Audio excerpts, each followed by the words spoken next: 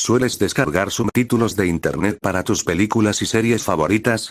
Mucha atención a la nueva amenaza que se está extendiendo. Subtítulos maliciosos que pueden hackear tu ordenador. Estamos viviendo unas semanas bastante delicadas en términos de seguridad informática, sobre todo tras el ataque masivo del ransomware WannaCry que nos hace ver que nunca debemos descuidar nuestra protección. Sin embargo, los atacantes cada vez buscan nuevos métodos para hacerse con el control de nuestros datos y máquinas. El último es mediante archivos de subtítulos. Sí, subtítulos. Seguro que en alguna ocasión has descargado alguno para poder disfrutar del último capítulo de tu serie preferida, usas algún software multimedia como Kodi o Popcorn Time que descarga los subtítulos automáticamente.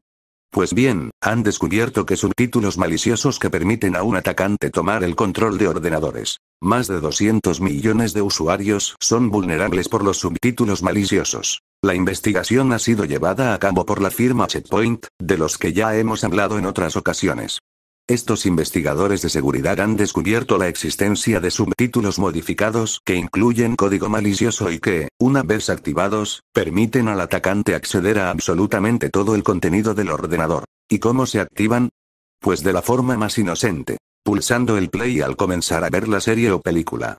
Es decir, de cara al usuario es totalmente invisible, como se puede apreciar en el siguiente vídeo. El tema es todavía más peligroso, ya no requiere que el usuario descargue nada, ya que muchos de estos programas de centros multimedia confían en los repositorios de subtítulos y es allí donde se pueden manipular, descargando directamente un subtítulo infecto. Los investigadores estiman que hay varios cientos de millones afectados, ya que están involucrados programas tan populares como Popcorn Time, Kodi, BLS o Stremio, aunque aseguran que estas vulnerabilidades podrían estar presentes también en muchos otros reproductores. La solución. Actualiza ahora mismo. Antes de publicar el resultado de la investigación, desde Checkpoint han avisado de la vulnerabilidad a los desarrolladores y ya han comenzado a parchearla para ponerle solución, así que si usas alguno de estos programas, actualiza ahora mismo.